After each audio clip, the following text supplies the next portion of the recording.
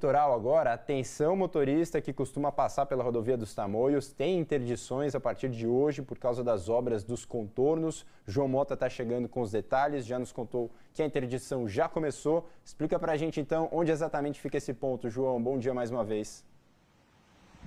Fala, Arthur, bom dia de novo para você e para todo mundo que está com a gente aqui no Bom Dia Vanguarda. A interdição ela está sendo feita logo depois desse supermercado aqui que fica logo na entrada aqui de Caraguatatuba. Tudo está sendo feito na pista que leva o motorista para dentro de Caraguatatuba, ou seja, nesse trecho então logo depois do supermercado, o trânsito vai ser desviado para a pista sentido São José dos Campos, que vai ficar então uma faixa sentido São José e outra faixa sentido Caraguatatuba. A previsão é que esse trabalho, essa interdição, só nesse trecho aqui dure por volta de duas semanas, sempre das seis 6 da manhã às 6 horas da tarde, de segunda a quinta-feira. Então, de segunda a quinta dessa semana e depois de segunda a quinta-feira da semana que vem, sexta, sábados e domingos, isso vai ser interrompido até pelo aumento mesmo do fluxo de carros durante esse fim de semana nos dois sentidos por aqui.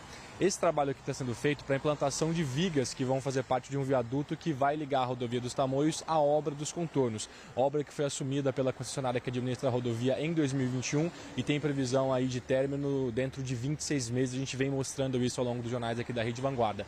A expectativa, a intenção dessas obras dos contornos é dar mais fluidez né, ao trânsito e facilitar também o acesso às cidades de Ubatuba e de São Sebastião pela rodovia dos Tamoios. Então, trecho, pequeno trecho de interdição parcial aqui na entrada de Caraguatatuba, logo depois desse supermercado aqui. Vai ser uma pista interditada, então nesse trecho, nas próximas duas semanas, o trânsito vai fluir para uma pista só, uma faixa sentido São José dos Campos e outra faixa para quem chega aqui a Caraguatatuba. Tá chovendo por aqui, o trânsito vez ou outra dá uma intensificada quando passa uma carreta maior, mas por enquanto interdição fluindo mais tranquila por aqui. Arthur, volto com você, boa semana para você e para todo mundo. Valeu, João. Para nós é bem a chegada em Caraguá, né? Mas pelo que você está mostrando aí, está bem sinalizado, né? Por enquanto, o trânsito fluindo bem. Obrigado, viu, pelas informações. Bom dia mais uma vez.